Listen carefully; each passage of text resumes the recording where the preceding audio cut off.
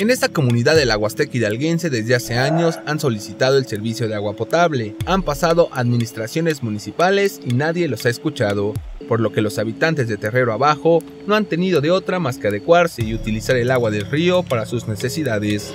Nosotros siempre tomamos este agua, está sucio. Allí bañamos y después es, llevaba para tomar allí a su casa cada quien. El agua del río era limpia, pero después de que se instaló el drenaje en una comunidad cercana, el cual desemboca en este mando acuífero, las cosas se complicaron. Nosotros los Orgen necesita el agua, porque como ahorita ya está este, el drenaje allá arriba, ahora el agua ya más, más complicado, más, más sucio el agua. Y nosotros aquí bajamos el agua, aquí nosotros tomamos. Consumir el agua contaminada les ha provocado enfermedades gastrointestinales y también cutáneas a niños, jóvenes, adultos y adultos mayores de esa comunidad indígena. a veces hace como, porque el agua está sucio y por eso.